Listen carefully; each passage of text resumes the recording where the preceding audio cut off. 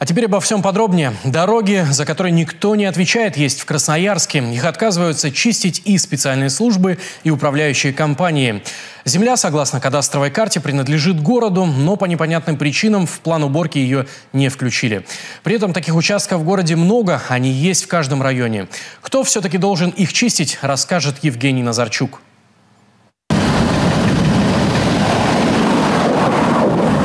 Дорога возле шестой школы на улице Матросова, порядок на которой, по всей видимости, никто и никогда не наводил. Здесь снежная каша, не пройти и не проехать. Ноги пешеходов по щиколотку вязнут, а колеса автомобилей едут по колее, как по трамвайным путям. Ежедневно сотни детей, рискуя с собой на этом пешеходном переходе, идут в школу. Я не помню, что вы чистили, да еще нынче зима такая.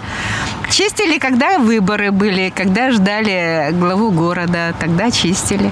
Едут машины, едут, едут дети, сильно страшно. Инвалидную коляску возят, это безобразие такое, как вот помогают человеку-инвалиду на это безобразие.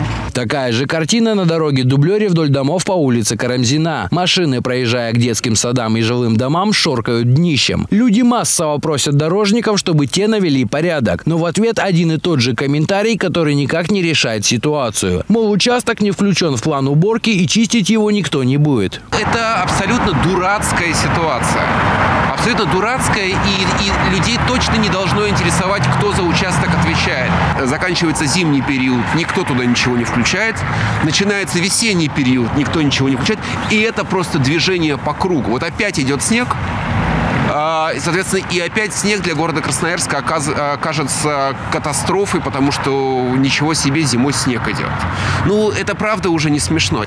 Мы вылизываем центр города, а социальные объекты, которые находятся на правом берегу, остаются недоступными для людей. Эти земли, судя по кадастровой карте, принадлежат городу, они относятся к территории общего пользования. За все, что не является частной, краевой и федеральной собственностью на территории Красноярска, должен отвечать город. А если быть точнее, мэрия. И это точно не проблема людей. Обязанность города найти необходимый механизм и решить данную задачу. Но, как выяснилось, только после того, как прошла половина зимы, они узнали, что есть такая проблема проблема. Действительно, сейчас скрылась такая проблема, что межквартальные междворовые проезды э, сложности возникают с их уборкой.